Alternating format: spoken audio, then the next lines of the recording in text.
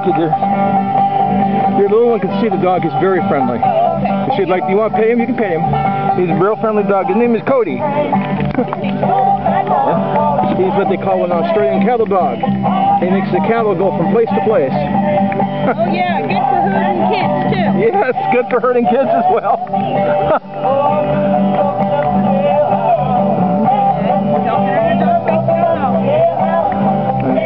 He's ex- no chance of anything. Believe me.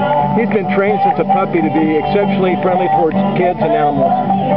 He's the most gentle spirited guy you can imagine. Oh yeah. Hi, buddy. Hi. Hi. Don't worry, I don't like that kid either. oh no. Oh no, you're killing me.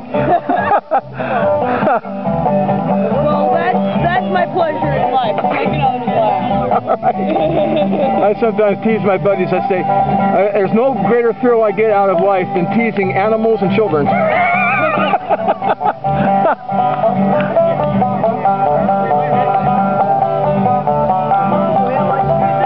oh, thank you.